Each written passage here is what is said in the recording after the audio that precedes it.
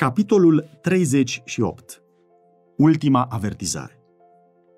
După aceea, am văzut pogorându-se din cer un alt înger, care avea o mare putere, și pământul s-a luminat de slava lui. El a strigat cu glas tare și a zis, a căzut, a căzut Babilonul cel mare, a ajuns un locaș al dracilor, o închisoare a oricărui duh necurat, o închisoare a oricărei păsări necurate și urâte. Apoi am auzit din cer un alt glas care zicea, Ieșiți din mijlocul ei, poporul meu, ca să nu fiți părtași la păcatele ei și să nu fiți loviți cu urgiile ei. Apocalipsa, capitolul 18, versetele 1, 2 și 4. Acest pasaj din Scriptură arată înainte către o vreme când vestirea căderii Babilonului, adusă de cel de-al doilea înger din Apocalipsa, capitolul 14, trebuie repetată cu adăugarea mențiunii referitoare la stricăciunile care au intrat în diferite organizații care constituie Babilonul, de când a fost dată prima solie din vara anului 1844. Este descrisă aici o stare grozavă în lumea religioasă. Cu fiecare respingere a adevărului, mințile oamenilor se vor întuneca mai mult, inimile lor se vor împietri și mai tare, până când vor fi zăvorâte într-o împietrire necredincioasă. Sfidând avertismentele pe care Dumnezeu le-a dat, ei vor continua să calce în picioare unul dintre preceptele decalogului până când vor ajunge să-i prigonească pe aceea care îl socotesc sfânt. Hristos este batjocorit prin disprețul pus asupra cuvântului și poporului său. Când învățăturile spiritismului sunt primite de biserici, opreliștea impusă inimii firești este îndepărtată, iar mărturisirea religiei va deveni o mantie care ascunde cele mai josnice nelegiuiri. Credința în manifestările spiritiste deschide ușa pentru duhurile amăgitoare și pentru învățăturile demonilor și în felul acesta influența îngerilor răi va fi simțită în biserici. Despre cetatea Babilon, la vremea când s-a scos în evidență în această profeție, s-a spus Păcatele ei s-au îngrămădit și au ajuns până la cer și Dumnezeu și-a adus aminte de nelegiuirea ei. Apocalipsa, capitolul 18, cu versetul 5. Ea a umplut măsura nelegiuirii ei și distrugerea este gata să cadă peste ea. Dar Dumnezeu are încă un popor în Babilon și, înainte de căderea judecăților sale, acești credincioși trebuie să fie chemați afară din ea ca să nu ia parte la păcatele ei și să nu primească urgiile ei. De aici mișcarea simbolizată printr-un înger coborând din cer, luminând pământul cu slava lui și strigând cu glas puternic, făcând cunoscute păcatele Babilonului. În legătură cu solia lui se aude chemarea, ieșiți din trânsa, poporul meu. Aceste înștiințări, unite cu solia îngerului al treilea, constituie avertizarea finală care va fi dată locuitorilor pământului. Grozav, va fi deznodământul la care va fi adusă lumea. Puterile pământului, unindu-se să lupte împotriva poruncilor lui Dumnezeu, vor decreta ca toți mici și mari, bogați și săraci, slobozi și robi, Apocalipsa capitolul 13 cu versetul 16, să se conformeze practicilor bisericii prin păzirea sabatului neadevărat. Toți aceia care refuză să consimtă vor primi pedepse civile și, în cele din urmă, se va spune că merită moartea. Pe de altă parte, legea lui Dumnezeu, bucurându-se de ziua de odihnă a Creatorului, cere ascultarea și amenință cu mânia pe toți aceia care calcă preceptele ei. Odată ce problema a fost prezentată clar înaintea omului, Oricine va călca legea lui Dumnezeu pentru a asculta de legiuirea omenească, primește semnul fiarei. El primește semnul de apartenență față de puterea de care alege să asculte, în loc să asculte de Dumnezeu. Avertizarea din ceruri este aceasta. Dacă se închină cineva fiarei și icoanei ei și primește semnul ei pe frunte sau pe mână, va bea și el din vinul mâniei lui Dumnezeu, turnat neamestecat în paharul mâniei lui. Apocalipsa, capitolul 14, versetele 9 și 10. Dar nimeni nu trebuie să sufere mânia lui Dumnezeu până când, mai întâi, adevărul nu i-a fost adus în minte și în conștiință și nu a fost respins.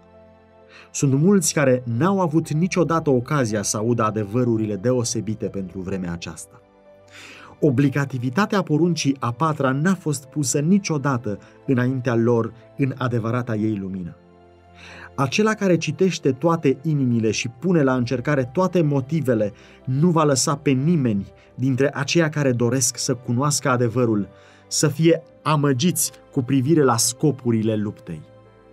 Decretul nu va fi impus oamenilor orbește.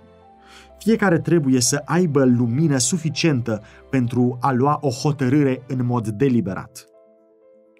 Sabatul va constitui proba cea mare a credincioșiei, căci el este adevărul pus în discuție în mod deosebit.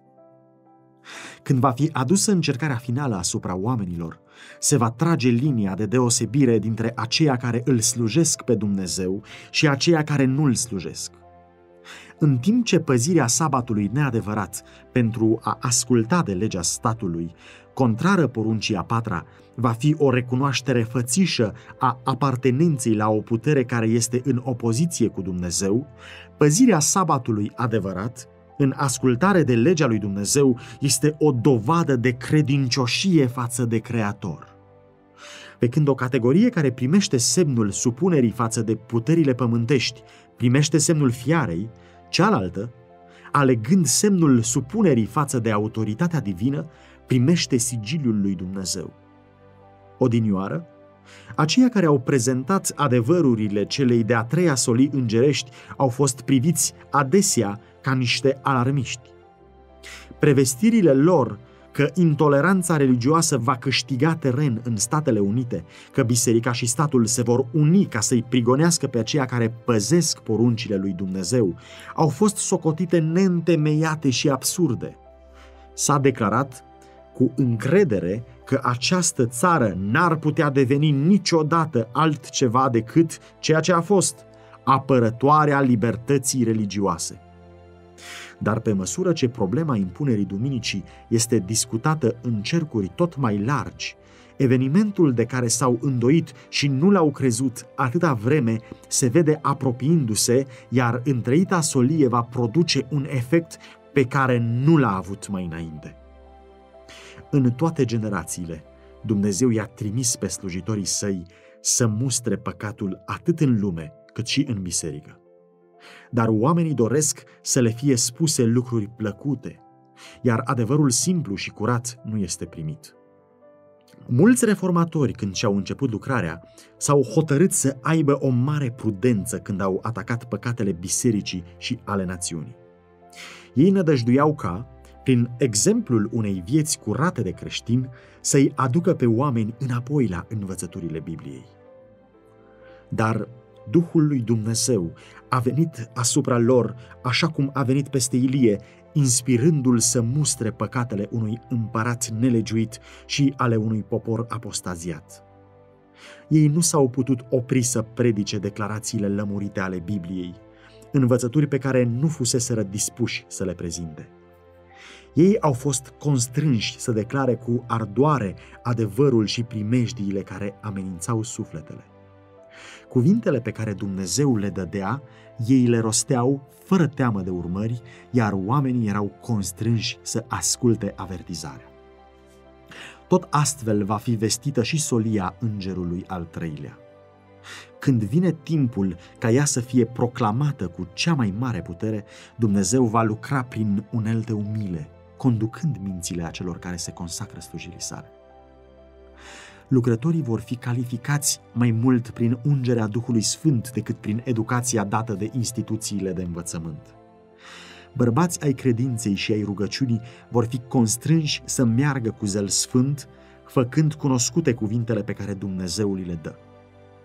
Păcatele Babilonului vor fi descoperite – urmările dezastroase ale impunerii rânduierilor bisericii de către autoritatea civilă, amăgirile spiritismului, înaintarea neobservată, dar rapidă a puterii papale, toate vor fi demascate. Prin aceste avertizări solemne, oamenii vor fi treziți.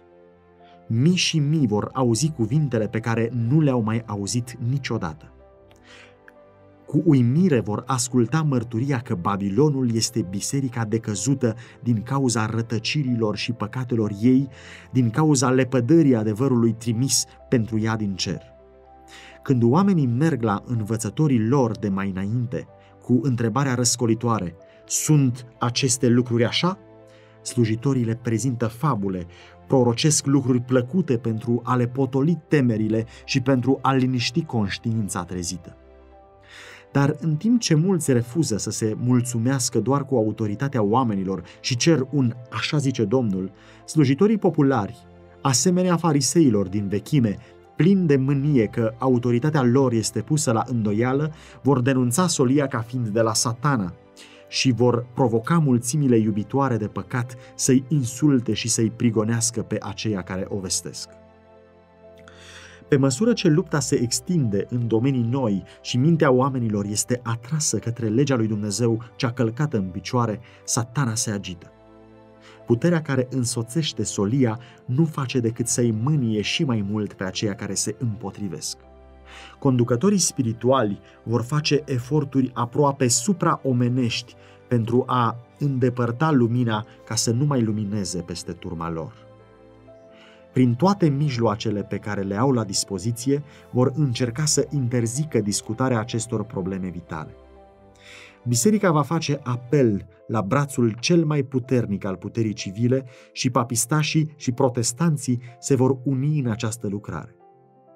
Pe măsură ce mișcarea pentru impunerea duminicii devine mai îndrăzneață și mai hotărâtă, va fi chemată în ajutor legea împotriva celor ce păzesc porunca a patra. Ei vor fi amenințați cu amenzi și închisoare, iar unora le vor fi oferite poziții cu influență și alte beneficii și avantaje cu condiția să renunțe la credința lor. Dar răspunsul lor va fi arătați-ne din cuvântul lui Dumnezeu rătăcirea noastră. Același răspuns pe care l-a dat și Luther în împrejurări asemănătoare. Aceia care sunt târâți înaintea tribunalelor aduc o puternică susținere a adevărului, iar unii care aud sunt conduși să ia poziție pentru păzirea tuturor poruncilor lui Dumnezeu. În felul acesta, lumina va fi adusă multor mii de suflete care altfel n-ar putea cunoaște nimic despre aceste adevăruri. Ascultarea cu sinceritate de cuvântul lui Dumnezeu va fi considerată ca răzvrătire.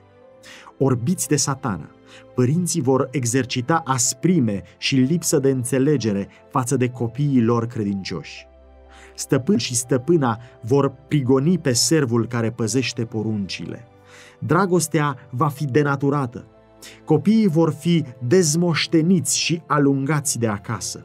Se vor împlini literal cuvintele lui Pavel, toți cei ce voiesc să trăiască cu evlavie în Hristos Isus vor fi prigoniți.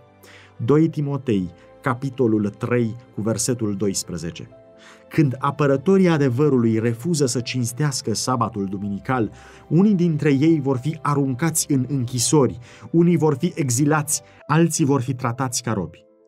Pentru înțelepciunea omenească, toate acestea par acum imposibile, dar pe măsură ce Duhul lui Dumnezeu care îi ține în frâu va fi retras de la oameni, iar ei vor fi sub stăpânirea lui satana care urăște principiile divine, vor avea loc manifestări stranii.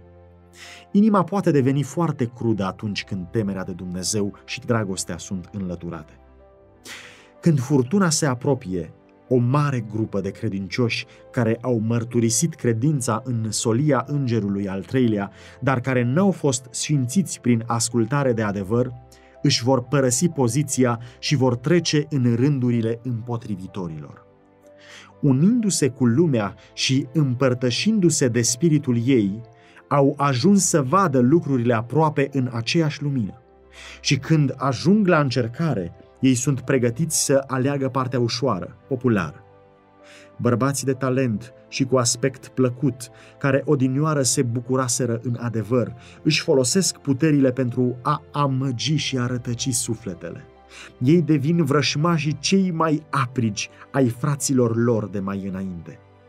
Când păzitorii sabatului sunt aduși înaintea tribunalelor pentru a da socoteală de credința lor, acești apostaziați sunt agenții cei mai eficienți ai lui satana de a-i prezenta într-o lumină falsă și a-i acuza și, prin declarațiile mincinoase și bănuieli, de a-i incita pe conducători împotriva lor.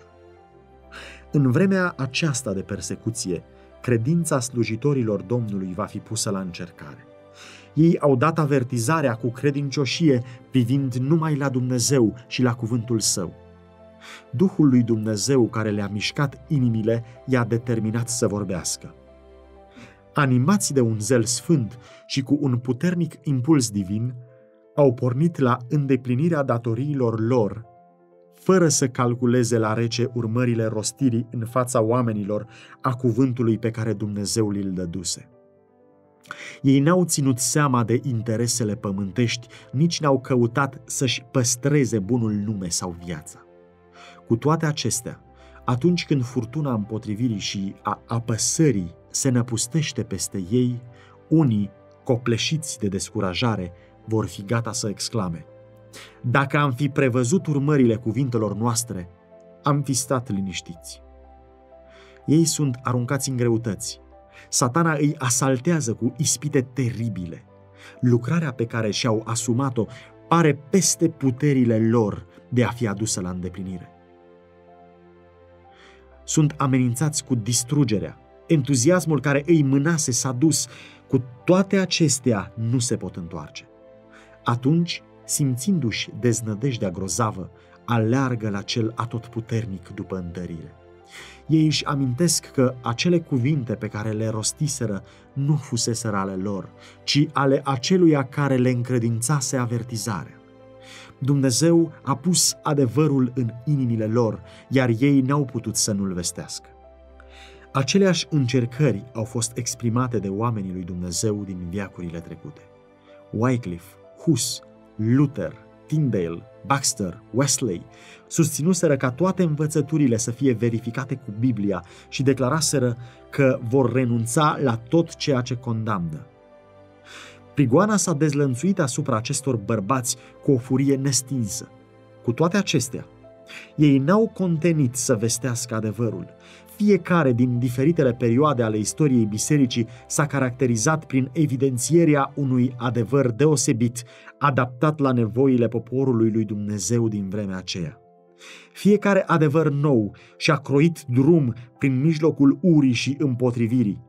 Aceia care au fost binecuvântați cu lumina lui au fost ispitiți și încercați. Dumnezeu dă un adevăr special pentru oamenii care se găsesc într-o situație dificilă.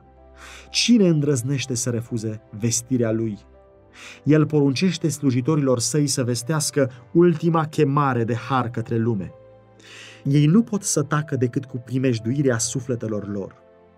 Trimișii lui Hristos n-au nimic de a face cu urmările. Ei trebuie să-și îndeplinească datoria, iar urmările să le lase în seama lui Dumnezeu. Când împotrivirea se ridică la cea mai înaltă cruzime, slujitorii lui Dumnezeu ajung iarăși în nedumerire, căci se pare că ei au adus criza. Dar conștiința și cuvântul lui Dumnezeu îi asigură că drumul lor este bun și, cu toate că încercările continuă, ei sunt întăriți să le suporte. Lupta crește și devine tot mai aprigă, dar credința și curajul lor cresc odată cu nevoile. Mărturia lor este nu îndrăznim să batjocorim cuvântul lui Dumnezeu și să despărțim legea sa cea sfântă, numind o parte importantă și alta lipsită de importanță pentru a câștiga favoarea lumii. Domnul pe care îl slujim este în stare să ne scape. Hristos a biruit puterile pământului, cum să ne temem noi de o lume deja învinsă? Persecuția în diversele ei forme, este punerea în practică a unui principiu care va exista câtă vreme va fi satana și câtă vreme creștinismul va avea putere vitală. Nici un om nu poate sluji lui Dumnezeu fără să provoace împotrivirea oștirilor întunericului. Îngerii răi îl vor asalta, alarmați că influența lui le ia prada din mâini. Oamenii răi, mustrați de exemplul lui, se vor uni cu ei căutând să-l despartă de Dumnezeu prin ispitiri amețitoare. Când acestea nu reușesc, atunci este folosită o putere constrângătoare pentru forțarea conștiinței. Dar atâta vreme cât Isus rămâne mijlocitorul omului în sanctuarul de sus, influența înflăcărătoare a Duhului Sfânt este simțită de conducător și de către popor. El încă mai controlează, într-o oarecare măsură, legile țării. Dacă n-ar fi aceste legi, starea lumii ar fi mult mai rea decât este acum. În timp ce mulți conducători sunt agenții activi ai lui satana, Dumnezeu își are trimișii săi printre conducătorii țării. Vrășmașul îi inspiră pe slujitorii lui să propună măsuri care ar împiedica într-o mare măsură lucrarea lui Dumnezeu. Dar bărbații de stat care se tem de Domnul sunt influențați de îngeri sfinți să se împotrivească unor astfel de propuneri cu argumente ce nu pot fi combătute.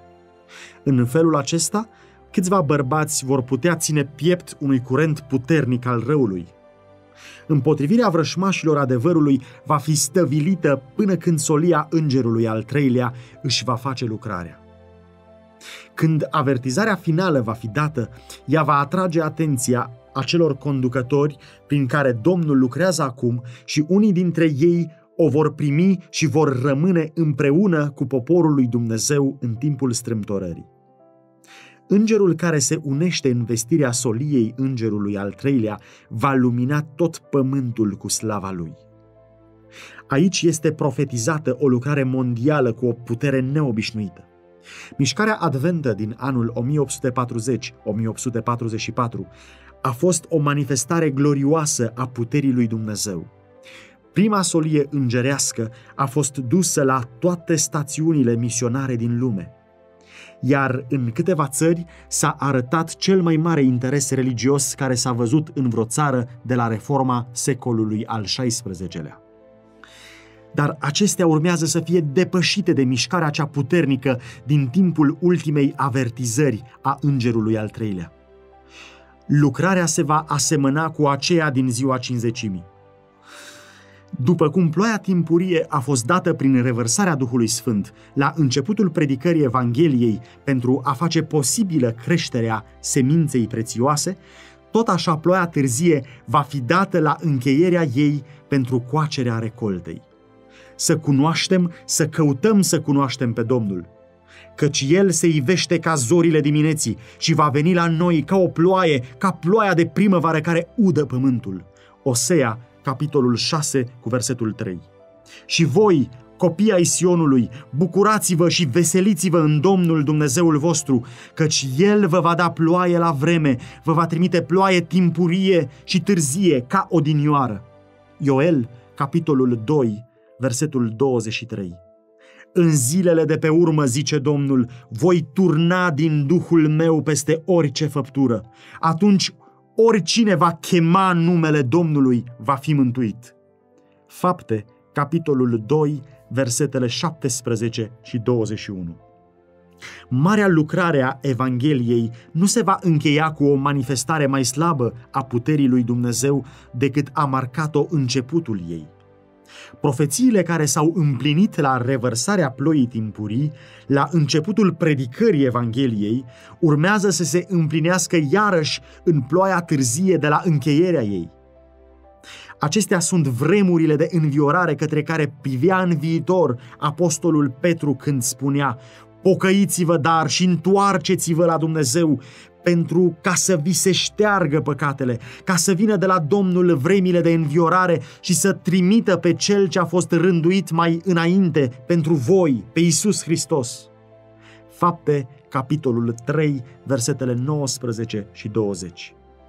Slujitorii lui Dumnezeu, cu fețele luminate și strălucind de consacrare sfântă, se vor grăbi din loc în loc pentru a vesti solia din cer – Prin mii de glasuri pe tot pământul va fi dată avertizarea. Se vor face minuni, bolnavii vor fi vindecați și semne și minuni îi vor însoți pe credincioși. Satana va lucra cu minuni mincinoase, făcând să coboare chiar și foc din cer înaintea oamenilor. Apocalipsa, capitolul 13, versetul 13. În felul acesta, locuitorii pământului vor fi aduși să ia o hotărâre.